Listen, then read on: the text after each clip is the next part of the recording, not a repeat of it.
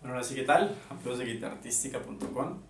Es un placer de nuevo estar aquí con un nuevo curso en este año 2020, como siempre en esta tu comunidad favorita para aprender guitarra, guitarra artística. Entonces, este curso va a ser especial porque van a ser cinco lecciones clave para la persona que no sabe absolutamente nada de guitarra. Después de estas cinco lecciones vas a salir aprendiendo tu primera canción y estas lecciones van a ser muy claras, concisas, van a ir al grano y sobre todo van a ser muy efectivas, ya lo verás. La primera clase va a ser, vamos a ver las partes más importantes de la guitarra y la notación de las manos. Entonces, bueno, la guitarra, eh, eh, una de las partes principales son eh, las cuerdas. Son seis cuerdas, una, dos, tres, cuatro, cinco y seis. Donde siempre la primera cuerda es la más delgada y la sexta cuerda es la más gruesa. Aquí también tenemos el puente, la caja de resonancia, que es toda esta caja. Tenemos el diapasón. Y en el diapasón hay unas divisiones con unos palitos. Cada división entre dos palitos se llama traste. Traste 1, 2, 3, 4, 5, etc.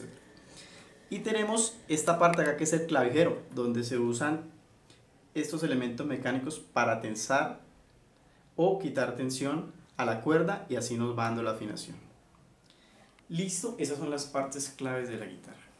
Y ahora vamos a ver algo importante que es la mano izquierda y la mano derecha.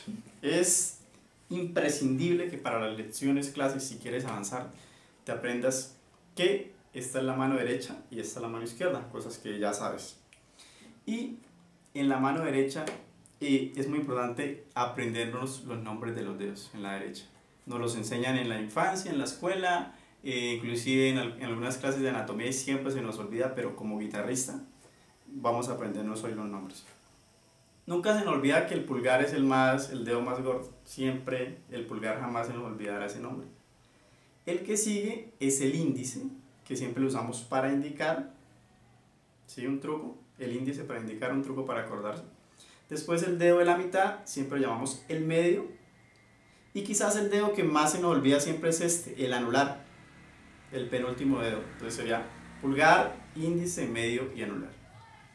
Y ojo que en la mano, en la mano izquierda la anotación sí cambia para los dedos. Simplemente es pulgar, pero aquí vamos a llamar dedo 1, 2, 3 y 4.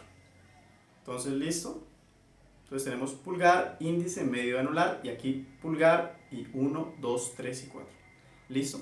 Entonces muchachos, estas lecciones van a ser claras, concretas y al punto.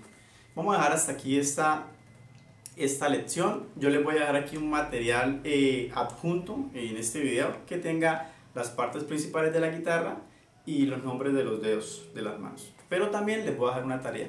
Traten en un papel de dibujar lo que vimos y colocarle el nombre tanto de las manos y de la guitarra.